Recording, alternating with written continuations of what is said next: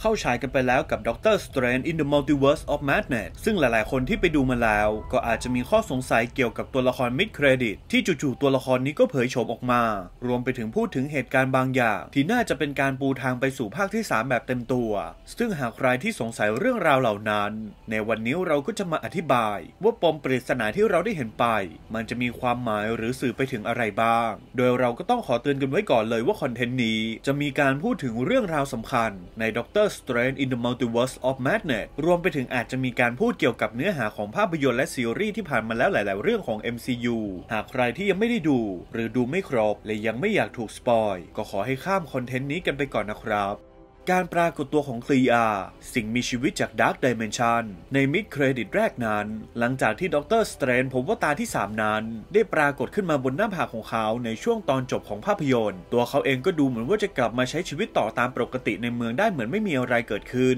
กระทั่งการปรากฏตัวของหญิงสาวที่มีชื่อว่าคลีอาที่รับบทโดยนักแสดงสาวอย่างชาร์ลิซ เธอรอน ก็ได้สร้างความประหลาดใจให้กับตัวด็อกเตอร์สเตรนและผู้ชมเป็นอย่างมาก เพราะจู่ๆเธอก็โผล่ออกมาพูดถึงเรื่อง incursion และการแก้ไขปัญหาในมิติ Dark Dimension ที่เคยปรากฏออกมาแล้วในภาคที่ 1 ก่อนที่ตัวด็อกเตอร์สเตรนเองจะเดินทางตามเธอเข้าไปเพื่อแก้ปัญหาบางอย่างในมิติดังกล่าว ซึ่งข้อมูลของคลีอาเธอคือตัวละครที่ถูกสร้างขึ้นมาโดยสแตนลีกับสตีฟดิตโกและปรากฏตัวออกมาครั้งแรกในหัว comic Strange Tales ฉบับที่ 126 ปี 1964เธอเป็นเผ่าพันธุ์ Faltine หรืออีกประเภทที่จำแนกมาได้ก็คือ Dark Dimension Humanoid Hybrid ซึ่งก็คือเผ่าพันธุ์ในมิติมืดที่มีลักษณะเหมือนกับมนุษย์นั่นเอง แต่ถึงยังไง รากเหง้าเผ่าพันธุ์ของเธอก็คือ Energy Being โดยคลีอานั้นเป็นลูกสาวของอูมา ซึ่งเป็นน้องสาวของเจ้าแห่งมิติมืดอย่างดอมามู ทางคลีอาจึงมีศักดิ์เป็นหลานของดอมามูทันที ส่วนพ่อของเธอนั้นก็คือ Prince o r i n i บุตรชายของโอลนาร์ ผู้ปกครอง Dark Dimension คนก่อน ซึ่งการที่คลีอาปรากฏตัวออกมาแบบนี้ นอกจากจะเป็นการดึงให้ด็อกเตอร์สเตรนต้องกลับไปแก้ไขปัญหาใน Dark Dimension ที่เป็นพื้นที่หลักของเหล่าศัตรูที่ฝั่งจอมเวทต้องรับมือแล้ว ใน comic คลีอาก็ยังได้กลายมาเป็นคนรักของตัวด็อกเตอร์สเตรนเองอีกด้วย หลังจากที่เธอไม่ยอมทำตามคำสั่งของดอมามูที่สั่งให้เธอฆ่าด็อกเตอร์สเตรนแต่เธอก็ดันไปตกหลุมรักเขาแทน นั่นทำให้การปูทางไปภาคที่ 3 แบบนี้ จึงเปรียบเสมือนเป็นการบอกเป็นนัยๆว่าตัวละครด็อกเตอร์สเตรนนั้นจะต้องไปสะสางกับบอสใหญ่อย่างดอมามูที่ไม่ว่าจะยังไง เขาก็จะกลับมาหาทางยึดโลกให้ได้อยู่ดี ส่วนการได้พบกับคลีอาก็จะเป็นการเปิดตัวหญิงสาวคนใหม่ ที่จะเข้ามามีความสัมพันธ์กับตัวด็อกเตอร์สเตร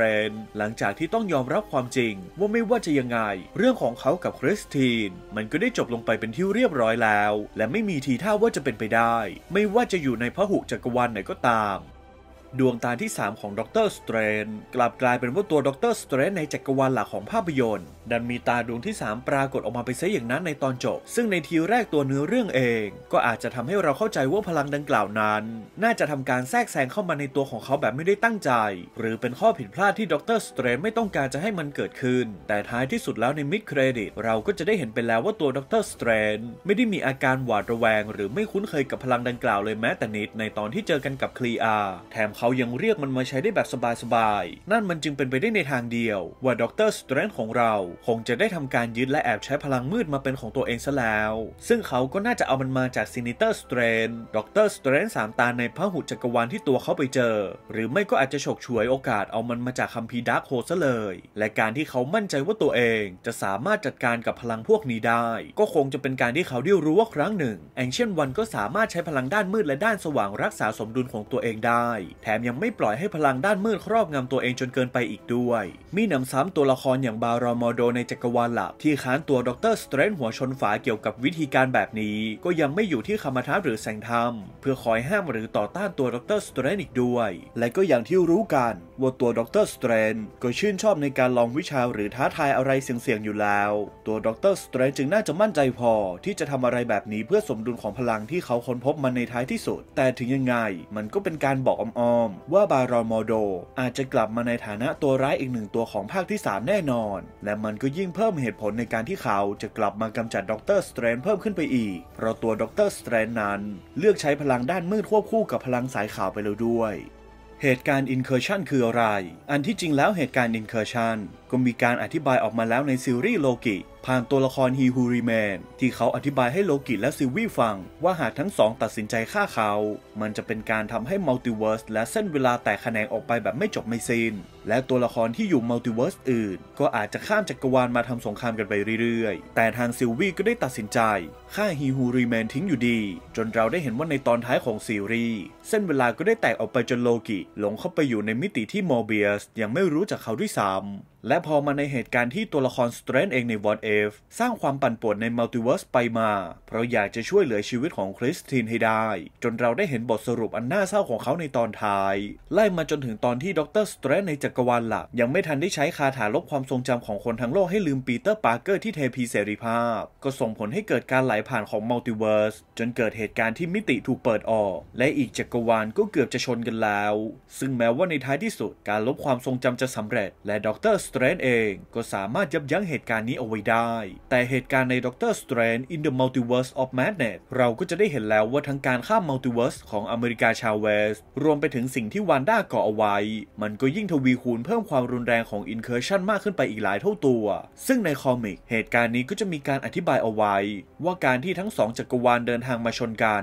จะใช้เวลา 8 ชั่วโมงในการหาบทสรุป ว่าจักรวาลไหนจะสามารถรอดไปได้ หรืออาจจะไม่มีจักรวาลไหนรอดไปได้เลยจนทั้งสองจักรวาลจะล่มสลายลงไปทั้งคู่ ซึ่งหากเป็นแบบนั้นจริงๆ มันก็ไม่แปลกเลยที่คลีอาจะเดินทางมาขอให้ด็อกเตอร์สเตรนไปช่วยสะสางเรื่องที่ตัวเองเป็นต้นเหตุ และถ้ามาเวลวางแผนจะมาทางนี้จริงๆ Event Secret War ที่เล่าเรื่องของ Cosmic Being อย่าง Beyonder ที่สร้างโลกที่มีชื่อว่า Battle World ขึ้นมา ก่อนจะเอาฮีโร่และวายร้ายจากจักรวาลต่างๆ มาสู้กันเพื่อรักษาจักรวาลของตัวเอง ก็อาจจะมีโอกาสเกิดขึ้นมาได้ แต่ที่ดูเป็นไปได้มากกว่า หากเทียบกับเรื่องราวที่ MCU ปูมา ก็คือหัว comic Secret War จากเวอร์ชันปี 2016 ที่เหล่าฮีโร่แต่ละจักรวาลเข้ามาบวกกันเองโดยตรง และมันก็อาจจะเป็นการเปิดโอกาสให้สมาชิก Fantastic Four ที่เหลือ นอกจากรี้ดริชาร์ดที่ปรากฏตัวออกมาแล้ว หรือแม้แต่ตัวรี้ดริชาร์ดในจักรวาลหลัก รวมไปถึงเหล่า X-Men คนอื่นๆ นอกจากชาร์ลส์เซเวียร์ ก็สามารถปรากฏตัวออกมาได้ง่ายขึ้นนั่นเอ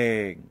ในส่วน end credit อันสุดท้ายนั้น หากคนที่เป็นแฟนภาพยนตร์ของแซมไรมี่ก็น่าจะคุ้นเคยกับจังหวะแบบนี้ดีอยู่แล้ว ซึ่งตัวละครคนขาย pizza ball ของบรูซแคมเบลจะปรากฏตัวออกมาอีกรอบ หลังจากที่เขาโผล่มาเล่นมุกมือผีสิงในตอนกลางเรื่อง ซึ่งก็แน่นอนว่ามันเป็นมุกเด็ดจากภาพยนตร์สร้างชื่อของแซมไรมี่อย่าง Evil Dead 2 ที่ตัวละครแอชของบรูซแคมเบลจะต้องสู้กับมือของตัวเองอย่างบ้าคลั่งก่อนที่ในท้ายที่สุดมนต์ของด็อกเตอร์สเตรนจ์จะหมดลง จนมือนั้นหยุดทำร้ายตัวเจ้าของมันเองแล้ว แต่แซมไรมี่ก็ยังไม่ลืมที่จะทิ้งทวนจังหวะ Break the Fourth Wall ที่เขาชอบทำบ่อยๆ โดยการให้บรูซแคมเบลหันมาหาผู้ชม และบอกว่าหนังนั้นได้จบลงไปแล้ว นี่จึงถือว่าเป็นการคารวะงานชิ้นก่อนอย่าง Evil Dead ได้อย่างสนุกสนานตามสไตล์ของแซมไรมี่นั่นเอง